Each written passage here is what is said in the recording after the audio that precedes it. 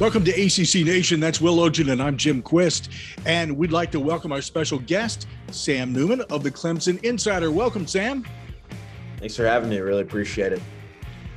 Right up front, man, just how old, really, really, is Clemson linebacker James Skalski? Is he 30, 40?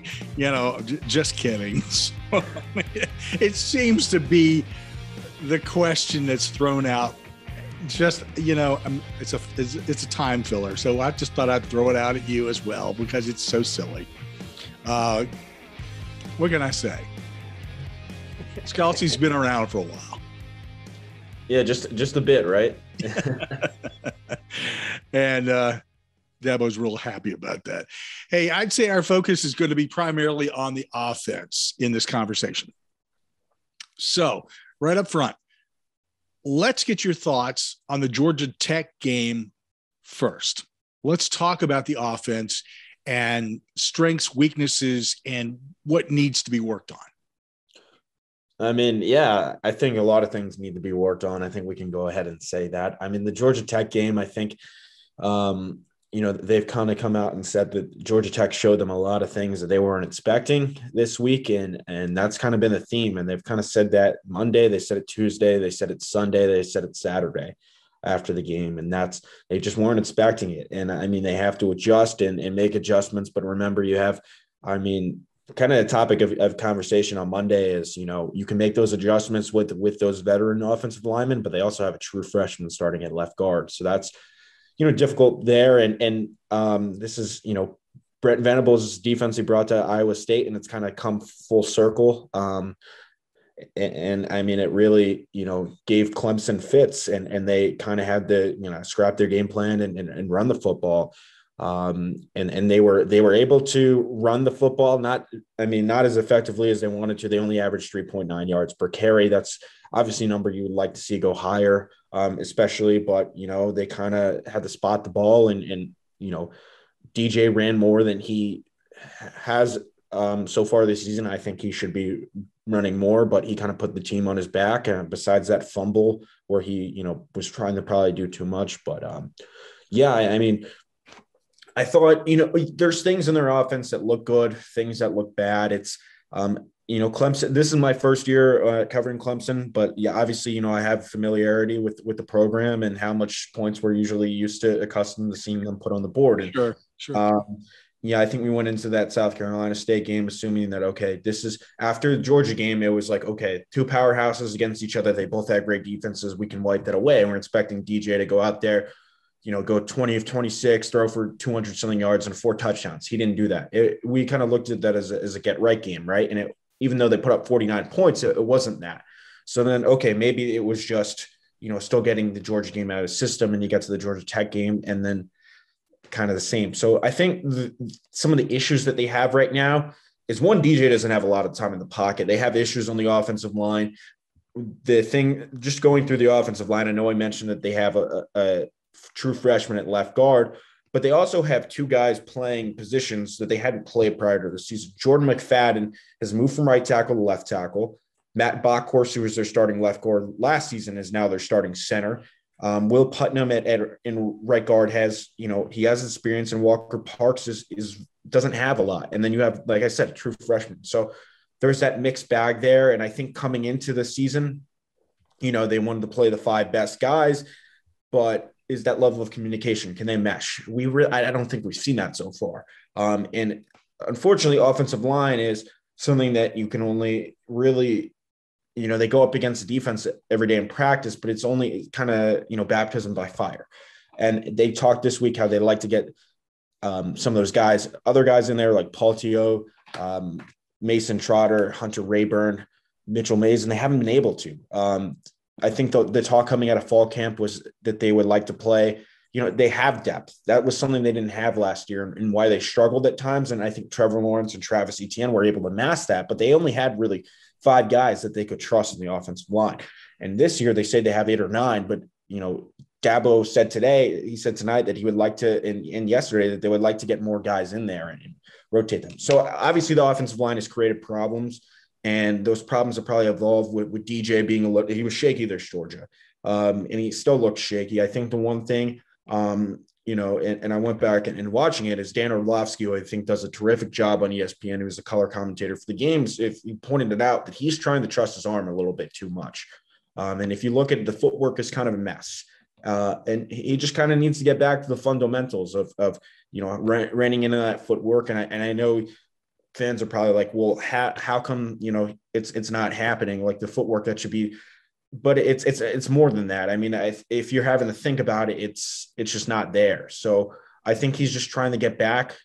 They're trying to get to back to the basics, and the basic fundamentals of with him just being able to execute, you know, some of those throws. I mean, some of the throws that he's sailing on are ones that he should be able to make, and he knows that. The team knows that. Um, I think he's a very talented player. You know, I'm not ready to I'm not ready to jump on on uh, the message boards and say, you know, it's time to bench him because I think, you know, to you know, fans can be ridiculous at times. I think we all know that. Um, you think? Yeah. yeah, gives them the best chance to win first and foremost, and I, and I think everybody in the locker room knows that. They're they they're behind his back. I mean, the starting center Matt Bockhorst, who has been with the program for five years, he had a fiery interview the other day, which was you know one I've never seen before. But he's like, I, I will go play with five any day of the week and, and let's go. So he has the back of his teammates. They all have confidence in him. It's just about him going out there and executing. And I think he has the talent. It's just, um, you know, it's about staying in the pocket, making those throws. Um, it's just like I said, it's the simple things, but I also think that they can get him more involved. Um, another, you know, issue with is the wide receivers. I think, you know, they have talent. They have a lot of talent at wide receiver. They can throw their hat in the ring for wide receiver you certainly but is Justin Ross being best utilized out of the slot? Is you know if Joseph Ngata and and EJ Williams are, are, you putting your best three receivers on the field? Sure, but are you putting them where they need to succeed? I, I think they like Ross in the slot because they don't have that slot guy that they've had in years past, like maybe Hunter Renfrow. They don't have that on this team. So um, and, and they do like they do like Beaux and Dacari Collins, who are true freshmen, but are, are they really ready to throw a true freshman wide receiver in the mix? I, you just don't know. But um, yeah, I, I think that's another thing is just they just the receivers and the quarterback haven't been on the same page, and that needs to change, obviously. And um, you know, the route running and and that sort of stuff. And um, they have, I, I think I'd be remiss to say they have a whole lot of talent, and it's proven. It's just about it all coming together. Um, you know, we're talking about the offense. I, I, mean, we'll just run through every position here. I guess the running backs I've been impressed with. Um, obviously, with the offensive line, you would you would think that the running game would kind of be stout, but well, Shipley's a true freshman, and and the kid can can run. Um, between the tackles, I, he's he's aggressive. He's I, I, don't think a lot of fans knew just how much he, he can, you know, be. They probably looked at him as more of a ground guy, but he, he can be that pound guy too. Um, and obviously, Lyn-J Dixon left the program this week. He entered the transfer portal. That kind of had been a long time coming. Um, as, as Dabo previously mentioned, he was in CJ Spiller's doghouse. Um, he was benched for the first half against Georgia due to, um, I think, with the disciplinary whatever. So, so that kind of came to a came to a head, and I don't think much of anybody was surprised. But you know, Dabo uh, on Tuesday officially named Shipley the starting running back, which is kind of big for Shipley because he has Raleigh roots. Um, I, th- I, believe some of his family went to NC State, so, so that'll be a, a, nice, I guess, little homecoming for him.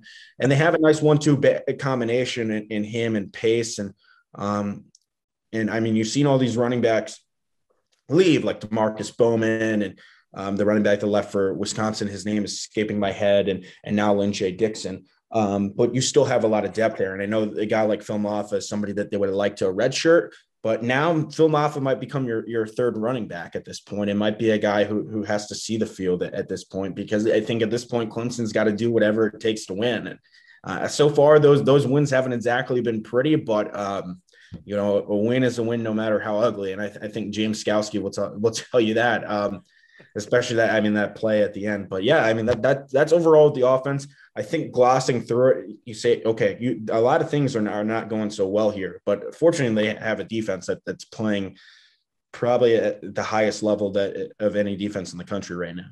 Yeah, we'll we'll touch in in that just a little bit. Uh, Will, uh, go ahead because I mean there's a lot to dissect mm-hmm. here. Uh, Sam's given us a, a great uh, bit of groundwork to work with here. So let's go from there. Yeah, definitely. And one of the points I wanted to make uh, as you were talking and listening to you, Sam, and, and even looking at the depth chart, that Yeah, this is a ton of talent. I mean, these are guys that you know a lot of them are coming off the the 2019 class, which I think at the time was one of the highest uh, ranked recruiting classes ever. And really, is they just they just don't they haven't meshed yet because they're they're still young. Is that something that maybe Clemson fans just need to uh, be a little more patient about? Yeah, yeah, yes and no. I, I think Dabo has, has, talked about some years that he, he, I mean, he was asked some questions about national reporters about um, on Tuesday, just about the level of turnover. And some years you're experienced, and some years you're inexperienced. And I think they have a case of where it's both. You have um, you lost guys like Trevor Lawrence and Travis Etienne to the NFL, but then at the same time you were able to get six years out of guys like Nolan Turner and James Skalski. So I, th- I think there's inexperience and there's experience, but I think they're inexperienced at, at, at some key spots at, that, and that's what's hurting them. So you talked about the uh, the the running back issue. Obviously, Lyn-J Dixon uh, entered the transfer portal, and as you mentioned, this was something that uh, it sounded like had been kind of been brewing. Obviously, with the disciplinary issue, plus he got passed up by a couple of younger guys. So do you expect? Uh, so, do you expect Will Shipley to get the bulk of the carries, and how much uh, of a role do you think Pace will have in the offense going forward? I, I would say that Shipley. Well, I mean, da- Dabo naming him the starter instead of having that or uh, designation on the depth chart probably holds some weight. Um, I believe he had twenty something carries against Georgia Tech. I would I would imagine that he'll probably be you know, I don't think he'll be that bell cow back where he's getting 30 carries a game, but I imagine that he'll he'll probably carry the load of the carries and, and Pace will be in there as a complimentary complimentary guy because they do some different things. I think, you know, where that you get into trouble there is is they not trouble, but per se, because Phil Mafah, they're very excited about him and he he brings it something that's that's very different than Shipley. He, he's kind of a bigger back um, than than Shipley and Pace, but they really wanted to redshirt him. Now that might be taken off the table um, because you're looking if they have Darian Rencher, who, who's a six, who's another super senior, um, and, and they trust him, but you know he's obviously not their first option. And then you have Michael Dukes, who they also trust and they like, but um, yeah, once once you get to that third running back, there are a bit of question marks, but I, I don't expect it to be an even split between Shipley and Pace. I, I, don't know what the carries might look like, but I think Shipley would would probably get a little bit more just because of that starter designation, and he, he's I mean through three games, I, I mean, you could probably wipe that first game off the table. You know, he, got four carries against one of the best defensive lines in the country and, and forget about it. I mean, they, they weren't going to be able to run the ball against Georgia. But, uh, you know, first, the, these past two games, I, I, think he's earned the right to, to be the starter. And Kobe Pace has also looked well, good as well. So I think they have, it's not, I don't wouldn't consider it a problem, but I think they have a, a nice one two complementary duo right there.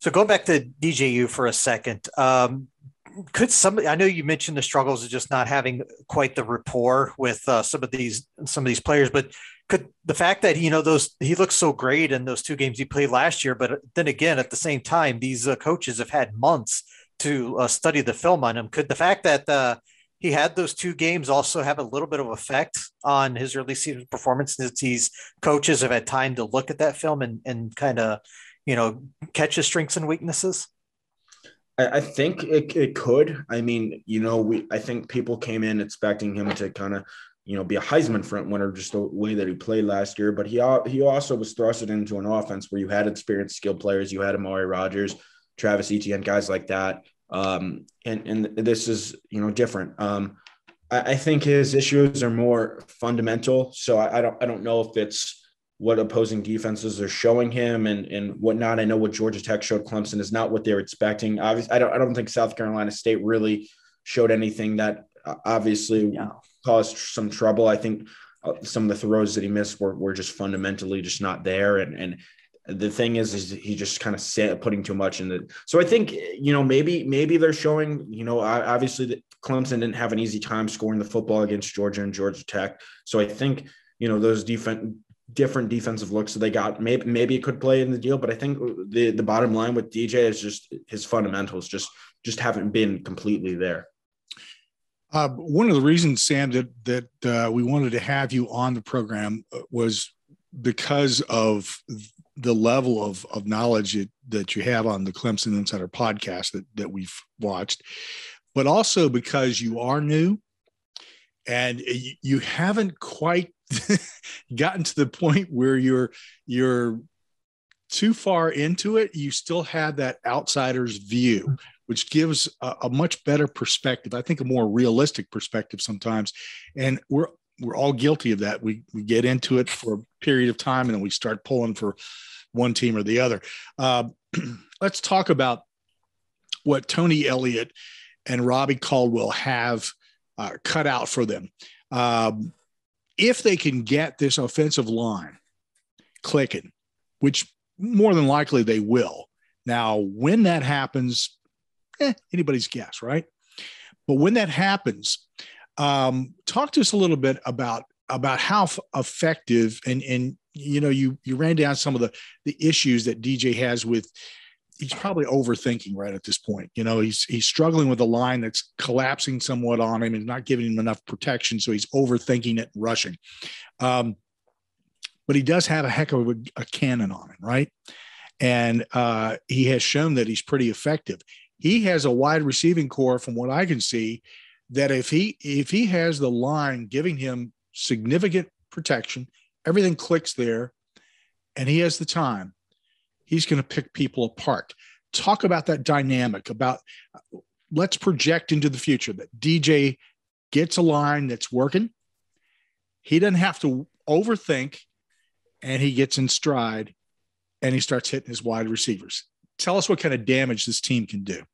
Well, you talk, I mean, you talked about his arm, and I think before the season, Clemson's quarterback coach Brandon Streeter said that DJ is the most impressive arm he's ever seen. Um, but just going back to your point, I think, you know, or the, the most impressive arm that he's coached. But just going back to your point, like like you said, I think you know once they get that clicking, and and hopefully it's sooner than later that you, will see a quarterback is probably more comfortable in the pocket. Um, you know, trusting what he sees, and and maybe you know just trusting that he can make those throws. And uh, I don't think it's a confidence issue. I, like I said, I just think it's fundamentals. But obviously, having a clean pocket will will certainly help. And um, I, I, with their offensive line, I think it's something they've talked about is just communication issues, and um, hopefully that's something they can get cleared up. But I think you'll see, you know, offense that can hopefully be explosive. They'll have time in the pocket to make some plays. You know, they haven't had really any explosive plays through this first three games, and and that's something that's been missing because Clemson's often been a been a team that's been able to rifle off explosive plays in the past, and they just haven't been able to this year. But even even with you know, DJ getting more comfortable in the pocket, I think we can go back to the running game as well. Um, you know, obviously there, there's a difference between, you know, Matt, ba- Matt Bockhorst saying, hey, like if you want to run that same defense, like against us that Georgia Tech did, if other ACC teams do that, let's spot the ball and let's go. And we'll run the ball against you. We'll put our hands down in dirt. And I mean, there's a difference between spotting the ball and executing. Um, obviously, Clemson would like to run the football for more than 3.9 yards per game. Um, I, I, think that goes without saying. I think they they didn't probably dominate the run game as as not that they they think they did, but maybe as you know, people who watch the game would be like, oh wow, they ran the ball this x amount of times. They they didn't. So um, you know, I think obviously, you know, as cliche as it sounds, the football games are one in the trenches. So um, once maybe you can get that that run game going up to, to set the passing game up and maybe just taking that ease off of DJ's shoulders. I, I really think a lot of the key is is just this offensive line gelling. Um, and and I think that's that's kind of, you know, um, probably just just kind of soaked into you know some of the issues that he's having fundamentally and like you said maybe overthinking maybe maybe just trying trying to do too much. So I think once they get things cleaned up there, and like you said, we don't we don't really know when that happens, but if it happens sooner than later, or sooner than later, I think they have a good chance to start putting up some points against some some tougher opponents. Um, just looking at the schedule here, um, at, at one point the uh, the Boston College game looked like it was going to be something uh, to to have to deal with. It's not looking quite that way now. We'll see what Boston College looks like against Mizzou. Um, they still could be something to be a challenge for Clemson. NC State, um, they also have the ability to to come at you on both ends of the ball, offense, defense. Probably one of the better packages, to be honest with you, that Clemson's going to be going up against on their schedule that I can see. That in Boston College. Um, what are some of the things that you're hearing out of out of uh, the coaching staff in regard to how they're going to approach NC State? Um, well, you know, um, that's a good question. I, I think that you know NC State's a very experienced. They have a very experienced defense. I think nine of eleven of their guys have starting experience, and even those two other guys have have you know started games in the past. Um, obviously, they're missing their um, their their linebacker, who's the heart and soul of that team, who, probably could have you know been the ACC defensive player or at least thrown player of the year, at least throwing his hat in the ring. It's going to be tough to beat Bryan Bresee this year, but um, that, that's a that's a brutal blow. But I, I think they know the challenge that, that they're going into. Um, Dabo tonight said that you know his his ears were still ringing from the the crowd noise that they were pumping him during practice. So they're they're I think you know they're going in this game. They're vulnerable. They have a target on their back. Um, I think NC State sees that. You know, it, it, they're going to hostile environment. Their first true road game of the year because you can't really count the game in Charlotte as a road game, a neutral site, and you know Clemson's a little bit closer to, to Charlotte than than uh, Athens is. So um, even though I think it was pretty even in the crowds. But um, yeah, no, this is their first true road game, and really, it's I mean, it, it could make or break their season. Honestly, I, I mean, it's as cliche as, as that sounds, it's um, they they really could find themselves in trouble. And I think Dave Doeren said this week that you know obviously they they saw what Georgia Tech did defensively, and I think you're going to see teams try and emulate that. So it's kind of up to Clemson to adjust to that and and really respond. And, that's what they talked about this week. Um, on the offensive side of the ball, they have a very talented quarterback and Devin Leary. And, and, and I mean, he, he is going to give them trouble defensively. They have a great defense. I honestly, you know, I don't want to sit here and, and say, hey, like predict um, how many touchdowns they're going to score, but I, I would be surprised if NC State doesn't break that that record of, of um, Clemson giving up offensive touchdowns. And not to say that NC that that Clemson's defense isn't good or NC State's offense is, is all world. I, I think they just have a little bit more talent offensively and, and can probably get, um, you know, sneak in, especially with a with a game at, on at home. Um, you know, it, it's going to be a tough game for them. I really think that this is, um, as of now, I, I really think it's the toughest game on their schedule. It, it really is, and um, and if you know NC State was fully healthy, I, I think you, you Clemson would be a little bit more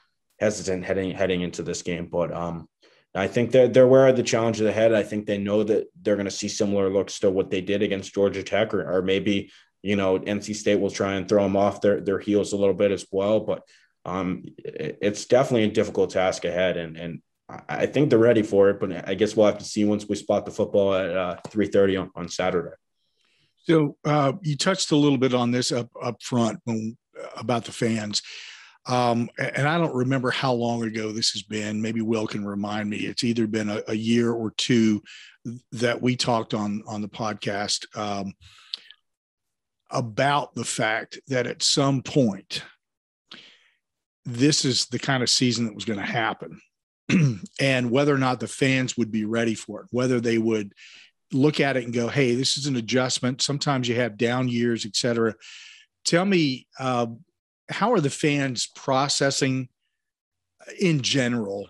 I mean, we can we can throw out some of the the meatheads and you know because it's really not worth talking about them but the people who are your your mainline fans how are they reacting to the start so far i, I think they're disappointed um, Obviously, because I think you expect to go in that South Carolina game, South Carolina State game, and hang 60 points. You go into the Georgia Tech game and and hang 60 points. I mean, they hung out, they hung there with Georgia. You throw away that game and say, okay, this is the best defense, one of the best defenses in the country. It it it was, you know, a bowl game like atmosphere. Just you know, let's get better from it and, and learn from it. And um, I think a lot of fans reacted to that game. Probably it was very reactionary. I think a lot of the a lot of it right now, I would say the fans um, you know, I, I, wish I had the temperature on the fans because you can only, you know, take so much for what's said on on the message boards and and Facebook and that sort of stuff. Or um, you can only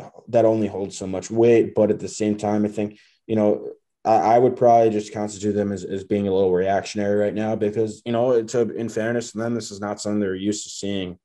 Um, and I think and they're expecting a little bit of a smoother transition from from Trevor to DJU than than they've gotten, and that might be probably the root of the frustration. But I think um, also at the same time, you, you know, their defense was strong. I mean, their defense was strong last year, but obviously got exploited against Ohio State. Um, but the, but the defense that we've seen this year, I, I think it's kind of just be like, well, now we got the defense, and, and they were hoping that the offense was, you know, going to put up all these points. But um, I, I think it's you know it's probably not the right fan base to ask to be patient just because they're used to winning, winning, winning. Yeah. Um, you know, I, I, that's just from you know my perspective here. Um, but yeah, I, I think there's you're not going to see a lot of patience with with DJ. Unfortunately, I think he he deserves to have some patience, but um, you know the the the fans here, the fan, the players here. With the, I mean, Tony Elliott talked about week week after week one, um, how fans were telling him to go back to Michelin and that sort of stuff. Like we see that stuff and it hurts. And DJ has, has gotten a ton of criticism and um, you know, Matt Bockhorst said he's he's an offensive lineman, and offensive linemen eat, eat criticism for breakfast. So um, I think a lot of these guys know how to turn out the outside noise, and and that's kind of what Dabo is is preach with his program. And I mean, you've often heard that there's you know some sort of uh, you know, there's sometimes can be an agenda against Clemson just because they play in the ACC and, and not the SEC and, and whatnot. And um, I think Dabo does a good job of making sure that the program tunes out the outside noise. But yeah, I, th- I think you're you're looking at a frustrated fan base that, that could definitely be happy. Uh, definitely, you know, not be won over because I don't think they need to be won over, but be back in their good graces if if you know you, you can go to um, you can go to NC State and, and put up some points and, and walk away with a win. But just uh, just from our perspective on the outside, because you know ACC Nation, we cover everybody. Okay. Mm-hmm. From our perspective on the outside looking in, this is what I would tell Clemson fans bring it down. It's it's going to be okay. And I know you don't have the patience, just like you pointed out, but bring it down. It's going to be okay. Will. yeah. So let me uh, just uh, get on to the NC State game. Aside from offensive continuity, is stopping NC State's running game kind of the key to victory in that game? I, I would say absolutely. Uh, yeah. I mean, you know, they've done a pretty good job of, of stopping the run game in the past uh, couple of games. And I, I, think that's, you know, something that they're going to um, definitely, you know, try and hang their hat on and, and, and go forth. Obviously, not having Tyler Davis, who's out for now seven, eight weeks because he um, in, injured his bicep is huge, but um, they, they like the depth that they have at that position. I mean, you might see some mixing and matching across that defensive line because you know you never can know what you expect out of Brent Venables, but uh, they like the depth that they have at interior defensive line. It's, it's time for some of those guys to step up. But I think, yeah, like you said, uh, I mean, football games are usually won in the trenches. So I think if they they can really stop what NC State has been capable of doing in the in the ground game and, and maybe win that turnover battle. That that's something that you, you're looking for the keys for victory there for sure. So we've we've mentioned James Skalski's name a couple of times, somewhat in jest, but also you know as a as someone who's been a key part of this defense, and you know I, I think there's been a lot of comparisons to uh, to someone he he who kind of he took over from has been Boulware, but uh, what has Skalski as a vet, kind of a veteran senior, meant for this defense in terms of a leadership role? I think it means everything. I mean, you just, yeah, everybody can just see, you know, the reaction to when he made that play, and they're like, "Yep, instincts." Like he just knows everything. The, I mean, he might not be the fastest, he might not be the most athletic guy in the field, but you know, he's like a coach out there. Um, and you know, he made that play because of instincts, because he, he knew what he was seeing and, and he saw it. And um, especially that play. But we also talked to uh, got in the media got a chance to talk to LaVonta Bentley, who who replaced Baylon Spector this past weekend, and because Spector was out due to some inflammation, or this, this past Saturday, I should say. And he talked about how Skalski is just one of those guys who, you know, they make sure that they watch film with them and and you know, kind of just show them the ropes and and what it means to to to you know reach that standard and you know, he didn't, he didn't, uh, Bentley didn't exactly like peel back the curtain on everything, but the, the, the thinking you got is he's pretty much like a coach on, on the field. Um, and he's clearly respected by his teammates and, and, you know, they would, um, I mean, one of the, the picture that our photographer t- took Bart Boatwright kind of went viral on social media. Um, he, it's a it's a picture of Skalski all bloody with KJ Henry having his arm wrapped around him, and and I think that kind of just shows the uh, after after he made that play, I think that kind of just shows in essence like what what he means to this team, and you know he's he's got a heart of the champion. I mean, he, he's got more rings than than fingers at this point, and, and he, gives it his all on on every on every play. I mean, even admitted it wasn't his, his it was his worst game of the season. Um, I, I, think, and you know, I that's you know him being a veteran and, and a guy who, who knows what to say. But um, you know, he, he made the play when it needed to be made, and then I mean, I think that just speaks to who he is as as as a player and and what you know Clemson's all about is, is definitely a guy like James Skalski, and I think they're lucky to have him back for this year. You know, the the circumstances surrounding why they were able to get him back, obviously, you know, you would have liked for that not to happen, but um, I, am sure Clemson was very happy to have him back, even though they have some talented linebackers who are ready to, to jump in and, and play. But I mean, the the way that he made that play on Saturday It was just like, yep, this this is why this guy's out there giving his all every play. So I know that uh, you know obviously last season during the playoff the the secondary got torched against Ohio State. Have you been impressed with how big of a turnaround this uh, secondary's played in these er- in this early part of the season?